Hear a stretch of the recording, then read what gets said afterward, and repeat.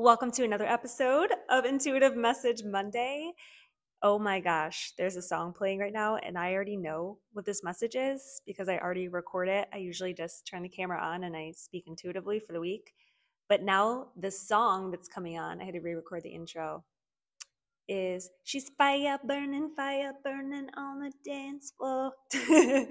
and I feel because this is all about drinking your own Kool Aid this week, is about confidence, is about front and center, getting your fire lit. So let's go into this week. And I'm Amanda Marit. In case you don't know, I'm an intuitive business and success coach for top leaders, public figures, and entrepreneurs. And this week I have a really special message for you. So without further delay, let's get into it this week we need you drinking your own Kool-Aid a little bit more because you are awesome. There's a part of you that forgot that for a little bit and we need to bring them back in. But also too, it's at a whole new level because this time you are so grounded in your heart space. You are being of service to others in the world. You're such a light and you're not going to abuse the power to be confident in yourself. Remind yourself this new version of you is stepping forward with confidence but you need to have a little bit more BDE. Like we need to get that fire back alive. We don't want any sort of weak, floppy energy, right? We need you stepping forward courageously because people need what you have to offer. They need it so much. I know that people are looking for you right now. And perhaps in the past, they couldn't fully find you one because you weren't ready to emerge yet. You are ready to emerge now. But also, the more you're confident in yourself, you beam out this magnetism that will attract back to you miracles, opportunities, abundance, right? When you are truly in your heart space, you're believing in yourself and you're bold enough to be seen. Right now, this is your season to be seen. And if you're still hiding under the covers, not believing in yourself, it's really you not believing in Source God that's wanting to move through this project or your videos or your content or your gifts, right? Your talents.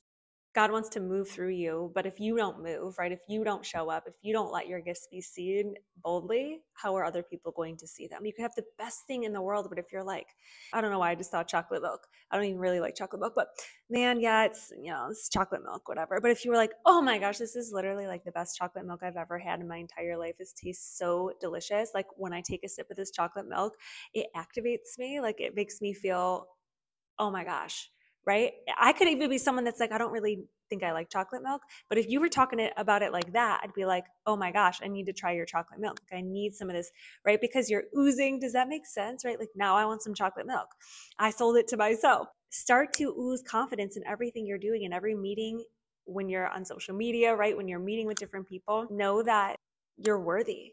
You have every reason to believe in whatever you're putting out into the world because it's going to bless so many people and you're forgetting you're forgetting how valuable what you share and offer and what you do is or maybe you remember but you need to remember it even more. So there's a little amanda sass for this week.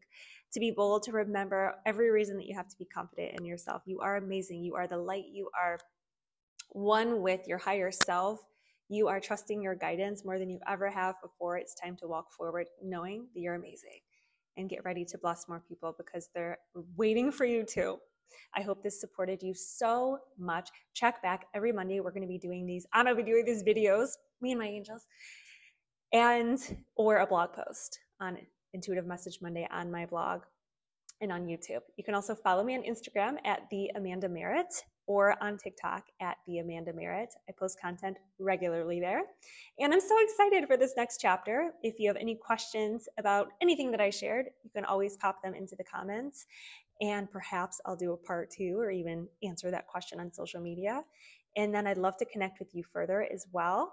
If you feel called to apply for my certification program or to work with me one on one, check my website out, amandamarit.com. All right, see you soon.